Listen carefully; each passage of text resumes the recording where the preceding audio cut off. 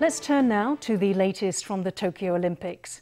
Table tennis pair Cheng I-ching and Lin Yun-ju beat France 3-0 on Monday to claim a bronze medal in mixed doubles. With that, the duo ended Taiwan's 21-year medal drought in table tennis. Earlier in the day, Taiwan's men's archery team added a silver medal to the tally.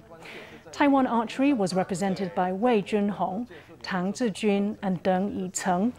The contingent defeated Australia, China and the Netherlands before losing to South Korea in the final. South Korea breezed through the match with a perfect score of 6-0 and the Taiwanese trio took home silver. Taiwan's medal tally now stands at two silvers and two bronzes.